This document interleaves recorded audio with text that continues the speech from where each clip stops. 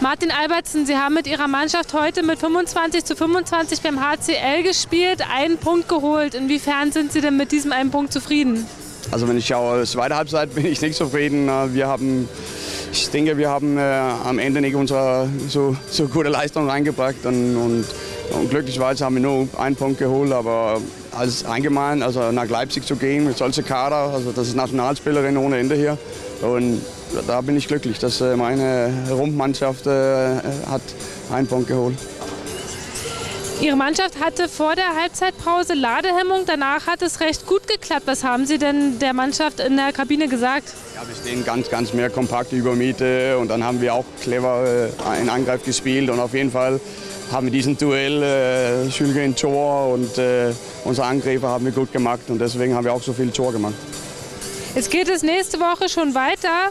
Ähm, woran arbeiten Sie denn noch äh, vor dem Spiel gegen Metzingen, damit es da dann mit zwei Punkten klappt? Ja, das Metzing hat auch eine überragende Mannschaft. Wir spielen zu Hause und wir machen alles, was wir machen kann.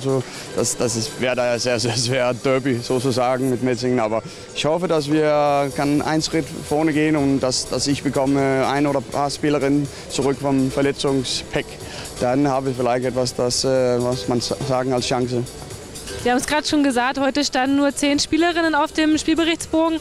Inwiefern haben vielleicht auch Spielerinnen vom HC Leipzig die Chance, noch mal bei Ihnen an der Tür zu klopfen für nächste Saison? Entschuldigung.